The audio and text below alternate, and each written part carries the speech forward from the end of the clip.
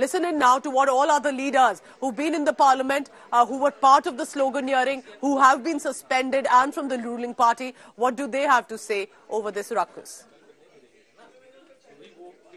Speaker is the custodian of house and इस parliament के पूरा एडमिनिस्ट्रेशन स्पीकर के संज्ञान में रहता है स्पीकर के अधिकार क्षेत्र में रहता है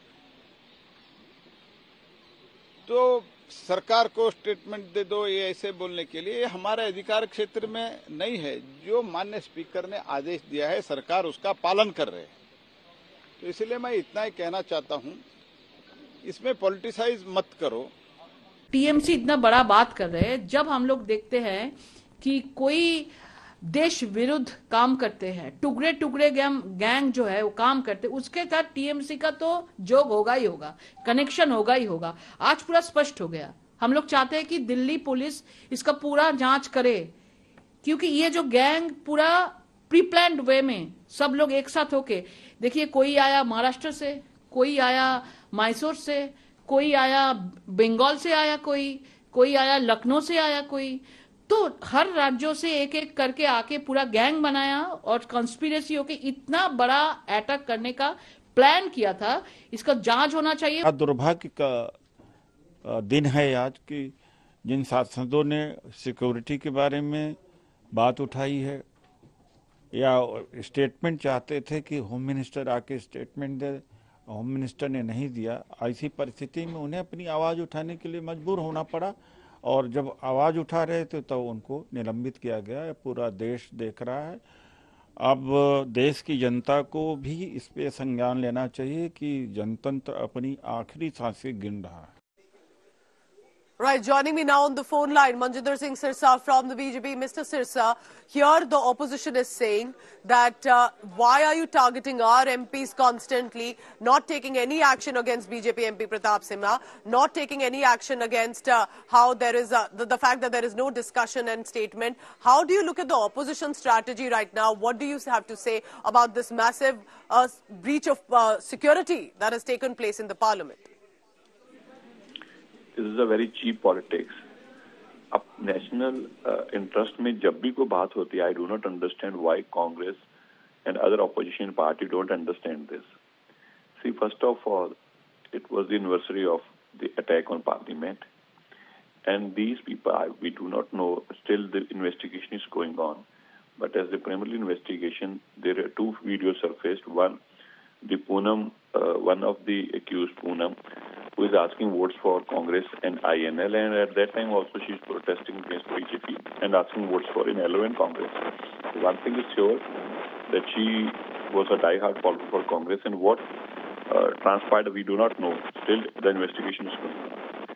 And at the same time, uh, when the speaker has said that कि हमने कमेटी बना दी है कमेटी की रिपोर्ट आने का इंतजार करो उसके ऊपर हम जो भी कमेटी की रिपोर्ट आएगी उसके बाद इस पर चर्चा करेंगे in spite of that the opposition MP shouting आप स्पीकर को भी समझ नहीं को आप नहीं, आप उनके भी गले आ रहे हैं तो ऐसे में अगर आपको कहा जाता है कि आप pictures that have come in because uh, India Alliance is charging at the ruling party in the government for the clearance of the pass and the security breach but now images show that one of those co-conspirators and accused were seen with Trinamool Congress leaders at least in public events photographs have surfaced they clearly had a certain ideological bend uh, some of them were part that woman was part of uh, the for, uh, farmer agitation and other protests as well do you think that this was India alliance orchestrated, or do you think these were just individuals who got together to storm into the parliament? See, it would be too early to comment on this. Reason being, let the police investigate. The police is investigating this case. Unless until a police come to some conclusion, I think we shouldn't jump into the conclusion. So that is the reason the Honorable Speaker also said and the, the, the government also said, let there be a fair investigation and the conclusion, conclusion is out, then we'll discuss on this.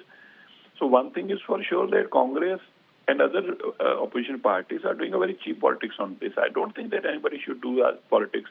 Otherwise, also, if they say this is attack, then also they shouldn't do this kind of a politics. And if they say it is not an attack, it's merely a protest, then why are you shouting for that? Then there is nothing to shout out it. And by the opposition, says Manjinder Singh Sir. Some more reactions coming in. Remember, this is very important. This is about security breach, where which is the foundation of our democracy. This is where our members of parliament sit. And to be able to storm right now with smoke canisters, the question is what if, and that could have become much more of a tragedy. And now, speaking for the first time, Union Home Minister Amit Shah at the India Today stage at the, the Agenda Aaj clearly and elaborately gave a statement on the parliament security breach and what is the government's plan of action here on. Addressing the session, Union Home Minister lashed out at the opposition parties also for playing politics over December 13th Parliament security breach. Home Minister Amit Shah assured that that a committee has been tasked with investigating the breach. They will be looking to also enhance Lok Sabha security. Inquiry has been done and ordered only because, remember, this report will be sent to the Speaker, Om Birla, as Parliament security is under the Speaker. But this, remember, happened on the anniversary of 2001 Parliament terror attack when these two individuals jumped from the visitors' gallery onto where the parliamentarians sit, released coloured smoke from the canisters, shouted slogans. And that's why this has become a huge issue. Listen in now to what Home Minister Amit Shah has said. Sir, आप देश के गृह मंत्री हैं संसद भवन में parliament attack की बरसी पर एक बार फिर से एक ऐसा वाक्य हुआ जिसको लेकर देश में लोग सोच रहे हैं कि अरे नई पार्लियामेंट की बिल्डिंग में ये आखिरकार क्या हुआ। सबने उन तस्वीरों को देखा। देश के गृह मंत्री के तौर पे आपको अब तक क्या पता चला है कि ये कौन लोग हैं, कैसे आए, क्यों आए और क्यों ये चूक देखिए, ये बड़ा गंभीर मसला है और लोकसभा अध्यक्ष जी ने इसका गंभीर संज्ञान लिया है।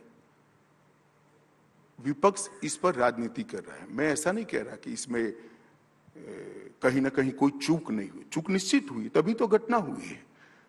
परंतु इस पर राजनीति करे। सबको मालूम है कि पार्लियामेंट सिक्योरिटी लोकसभा अध्यक्ष के तहत रहती है।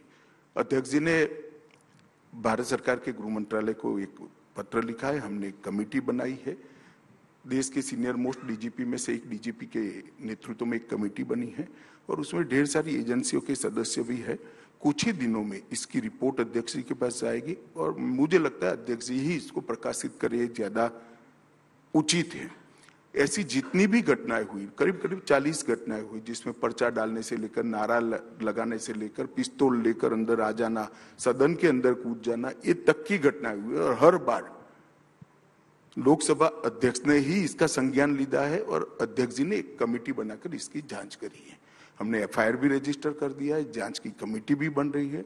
मुझे लगता है पंद्रह बीस दिन में वो लोग अपनी रिपोर्ट लोकसभा स्पीकर साहब को सौंप देंगे, मगर मैं इतना सुनिश्चित करता हूँ क्योंकि उन्होंने जो कमेटी का परव्यू बनाया है, घटना की भी जाँच करने के लिए कमेटी को काम सौंपा है और लोकसभा की सुरक्षा को आगे कैसे चुस्त दुरुस्त किया जाए, वो भी काम सौंपा है। और दोनों काम ये कमेटी बहुत अच्छे से करेगी। ये मैं देश की जनता को विश्वास दिलाना चाहता हूँ कि एकदम चुस्त, दुरुस्त सुरक्षा व्यवस्था आगे पर हो, इसका हम ध्यान रखेंगे। कई बार सुरक्षा में सैंड लगाने वाले नए नए तरीके लेकर लूफोल्स ढूंढते रहते हैं। लूफोल्स होना नहीं चाहिए, वो आइडियल चीज़ है। मगर अब ढूंढाई है तो इसको फील करने का हमारा ज़िम्मेदारी है। और मेरा सभी से अपील है कि इसको राजनीतिक मुद्दा न बनाया जाए।